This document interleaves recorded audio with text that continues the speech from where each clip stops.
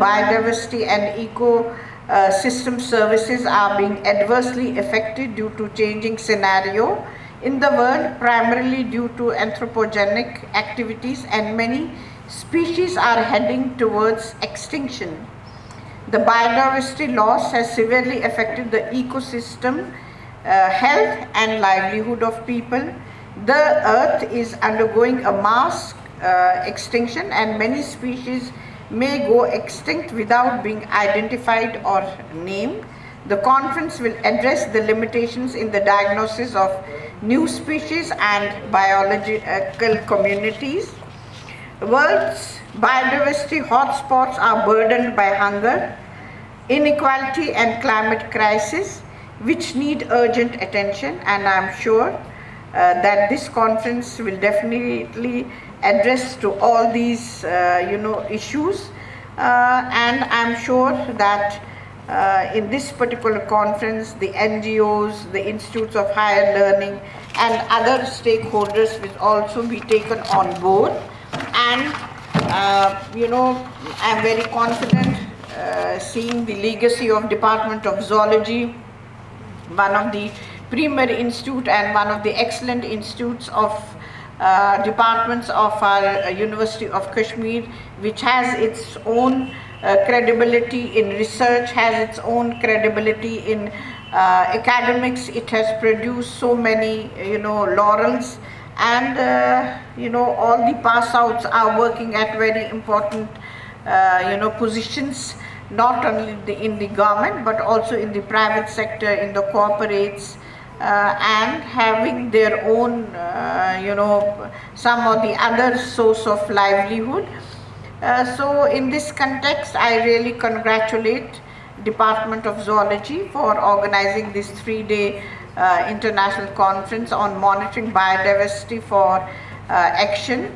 Uh, and, you know, I do look forward to have some definite uh, recommendations which are workable on which we can uh, you know work which will have linkages with different you know setups. Linkage we have our honorable speaker from Nepal. Let's see how we can have connectivity with his university where we can work together not only at the uh, you know national level but also at the international level. How uh, you know if they have any uh, you know good practice how we can you know include that. If we have any good practice how it can be shared with them. So i would definitely try to look uh, into these uh, you know aspects. Uh, and without addressing the issues and concerns of the biodiversity the all-round development of the society is not possible. Theme of the conference is targeted towards sustainable development goals of United Nations and shall focus on challenges, resource management, behavioral solutions and inspiring and educating people to adopt sustainable behavior. This uh, you know point is very important and I am sure that definitely some workable uh, you know uh, sessions will be done on this and I am sure that uh, present conference will serve as a platform for all the stakeholders to deliberate upon the important approaches uh, of managing sustainable uh, development and uh, how the future generations can be involved, how they can be made aware and uh, how uh, seriously they can work on the various issues. The conference will incorporate all aspects of biodiversity and integrative approach is the need of the hour as I earlier said to manage global biodiversity and promote sustainable livelihood of the people in view of the changing world scenario. And uh, considering its vital role in supporting ecosystem, providing ecosystem services and promoting human well-being, uh, University of Kashmir is committed, you know, uh, in all aspects wherever it has to play its role will definitely pl uh, play it whether it's the connectivity with, with our uh, J&K government whether it's connectivity at the national level with other institutes or its collective uh, its connectivity at the global level. I really congratulate engineer Rashid for an excellent, uh, you know, work that he has done on this particular bird watching, uh, you know, picture. He does work on uh, various uh, climatic issues and uh, I really congratulate him for his, you know, interest on various issues and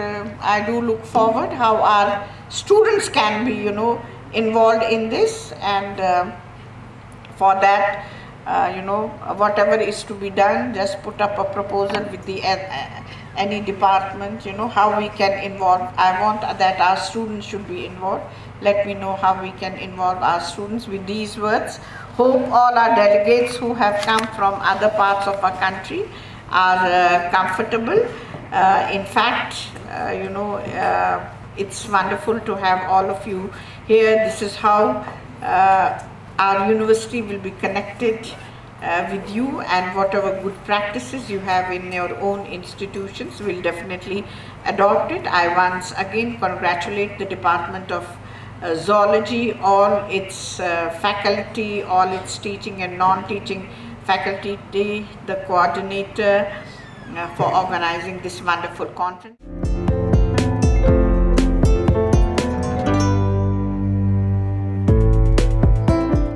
According to UN Environment Program, in 2010, the world came together to take stock of the progress made to arrest biodiversity loss. Unfortunately, it was clear that there was not much good news to report. In response, a new set of sustainable biodiversity targets called the Aichi targets were established giving us 10 years to make progress on reducing biodiversity loss. Regretfully, most of the targets were not met. Nevertheless, what often feels like an avalanche of bad news on the environment, there is a silver lining. That is, the future is entirely in our hands. And so there is no more important a moment for us than to discuss nature and biodiversity. Because what we do or what we do, don't do will determine the fate of our planet. This is critical juncture for the human species and more people are aware than ever before that a crisis in the natural world is crisis for humanity we must emphasize nature-based solutions by investing in nature's infrastructure, such as the coral reefs, the mangroves, the forests, the wetlands, the pollinators, and other biotic species. These ingredients are essential for planetary security, biodiversity conservation, combating desertification, and land degradation and of course in the struggle against climate change.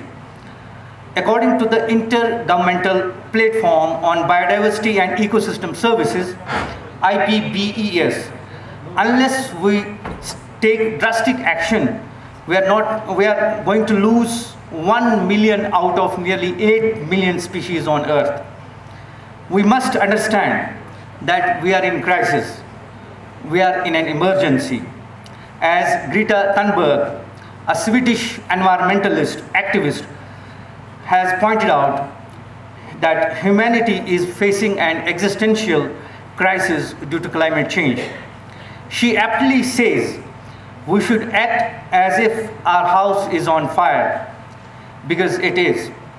In 2015, UN adopted Sustainable Development Goals, SDGs, to improve the lives of people and by bringing together governments, NGOs, institutes of higher learning, and other stakeholders.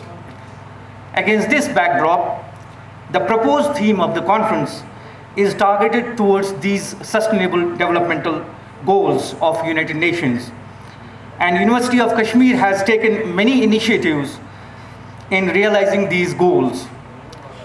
Well, the Department of Zoology, University of Kashmir, has also taken a lead on multiple fronts, since its establishment in 1961. Our department has conducted a number of conferences, symposia, workshops, seminars, extension lectures, and debates of social, societal importance. This is evident from the fact that more than 1500 research papers, 15 books, and monographs have been published in reputed and high impact factor journals. Apart from this, the department has completed around 40 research projects sanctioned and financed by the Department of Science and Technology, Council for Scientific and Industrial Research, University Grants Commission, Indian Council of Agricultural Research, and J&K State Council for Science and Technology. To date, 170 MPhil scholars and 130 PhD degrees have been successfully awarded to the students. In the last few years, the department has been successful in mobilizing around 5 crore rupees from national and state funding agencies. Our faculty members have also worked and presented their research findings at international platforms. To mention few like in USA, Germany, Hungary, Argentina and Thailand. Our key research areas include molecular biology, taxonomy, general and experimental parasitology, immunology, fish biology, aquaculture, agricultural and applied entomology, wildlife ecology and limnology.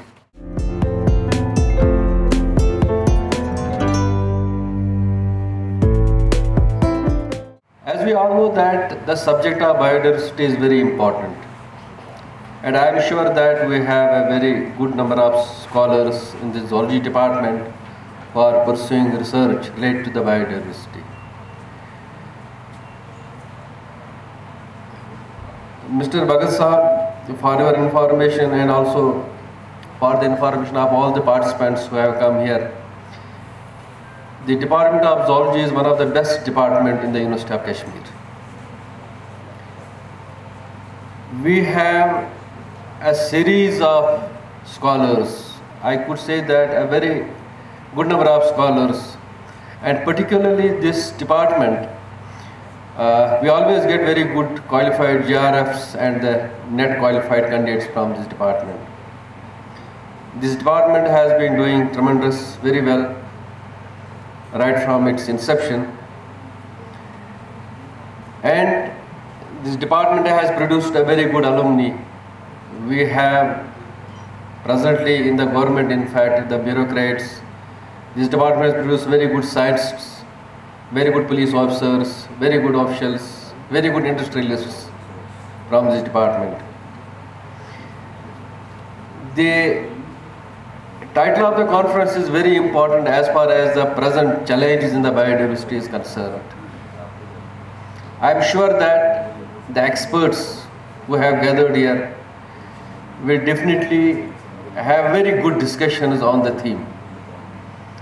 And the participants both from inside as well as from outside will get benefited by all these technical sessions. I wish best of luck and welcome all the participants and hope that you will have a very good stay in the university. I could feel that this department has been very busy for the last several months while preparing this conference because when I took over as a registrar, before four months, uh, the first paper I could receive from the department was to hold this international conference. So, you, the department has prepared, has been very busy in preparing, making preparations for this conference, and I am hopeful that the output of this, all these technical sessions, will definitely have a good uh, kind of the, the, the program. I am sure that the proceedings of this conference will be helpful for the biodiversity researchers and hope that the latest research, that latest trends in the biodiversity, which is related with the research of the biodiversity will be helpful.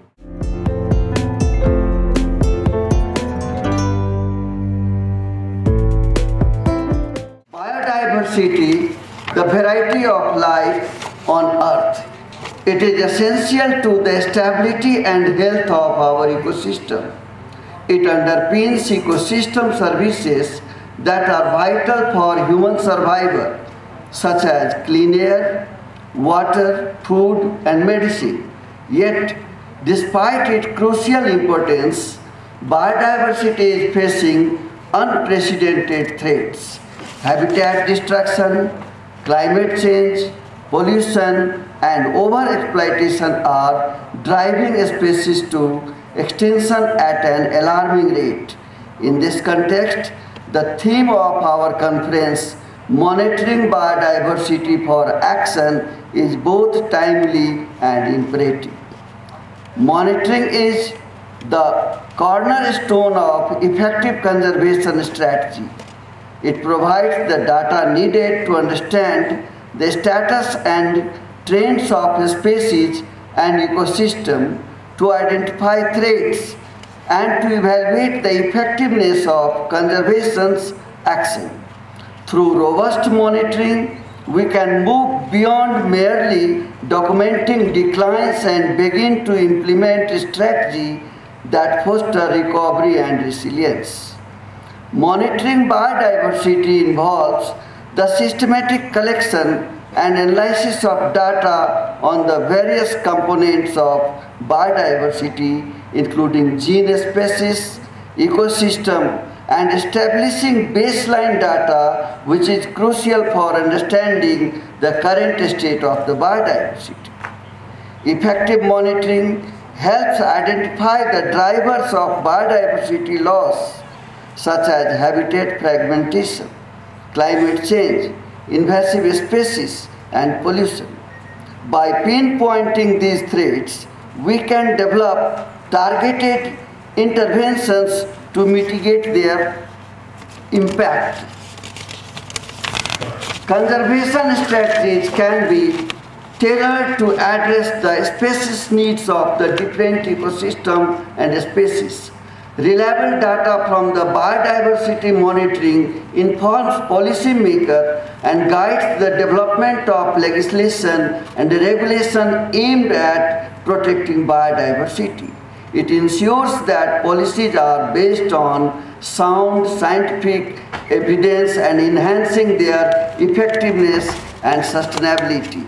In recent years, innovation in technology have revolutionized our ability to collect and analyze data. Satellite imaginary drones and GIS provide comprehensive data on land use changes habitat extent, and ecosystem health. These tools allow for large-scale monitoring and the identification of critical habitats. Similarly, advances in sensor technology and artificial intelligence have led to the development of automated monitoring system. Biodiversity conservation is an ongoing process that requires adaptive management and engaging local communities in conservation efforts which is vital and community-based monitoring empowers local stakeholders to take ownership of biodiversity conservation and leading to more sustainable outcomes. It does not recognize political boundaries International collaboration is essential for addressing transboundary conservation challenges. Sharing data, resources, and expertise enhances our collective ability to protect global biodiversity as we embark on the journey of discovery and learning. I encourage each of you to actively engage in discussion, share your insight and build new partnership. Let us use this opportunity to inspire one another to challenge existing paradigm and to forge a path forward that is rooted in science, sustainability and equity.